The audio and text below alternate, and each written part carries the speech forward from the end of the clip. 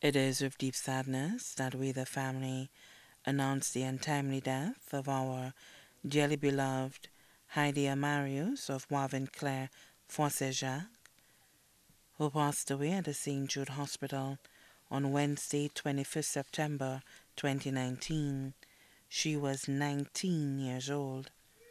The funeral service for our dearly beloved Hidia Marius will be held on Monday, October 14, 2019, at Our Lady of Assumption Church, Soufrière, at 2.30 p.m. The body will then be laid to rest at the Michael O'Brien Private Cemetery, Latony V4.